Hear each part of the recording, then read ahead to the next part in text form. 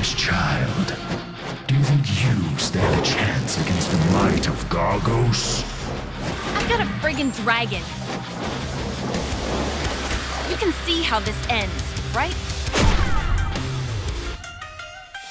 Six months ago, if you told me fate decreed I'd be saving the world, I'd have laughed in your face and given fate the middle finger.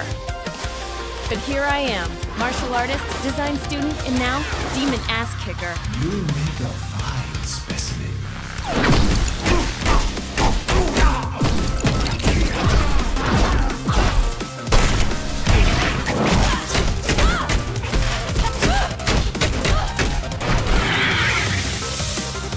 That dragon? It's mine.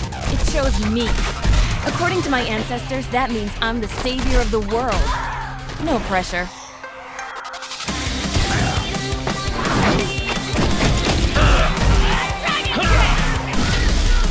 Six months from now, I won't be questioning fate, but you can bet I'll be standing victorious over the body of whatever this Gargos thing is. Because I won't let it end any other way.